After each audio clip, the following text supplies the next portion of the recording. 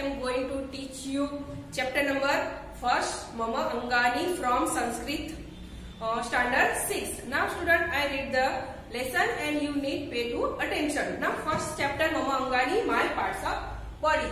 तो दंता तो यहाँ पे पार्ट्स ऑफ़ बॉडी दी है उसका हमें इंग्लिश मीनिंग समझना है तो यहाँ पर है दंता दंता का मीनिंग होता है तीत तो टी डबल ई एच तीत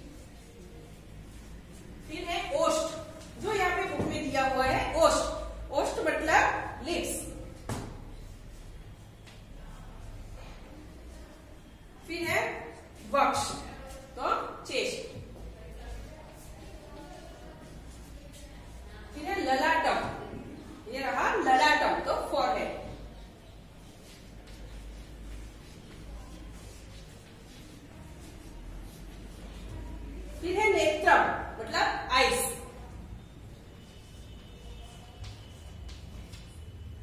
नासिका मतलब नोज़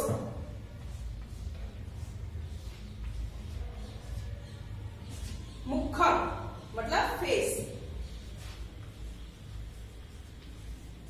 कर कर मतलब हैंड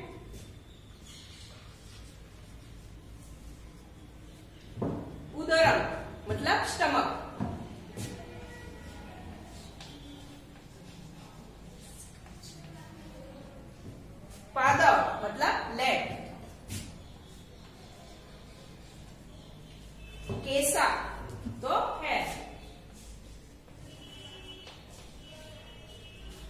कर्ण ईयर फिर है ग्रीवा तो नेक।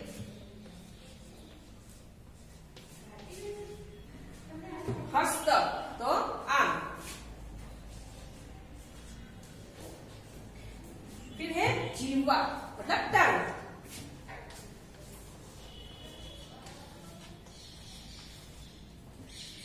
फिर है चरण मतलब फुट फिर है करतलम मतलब प्लाम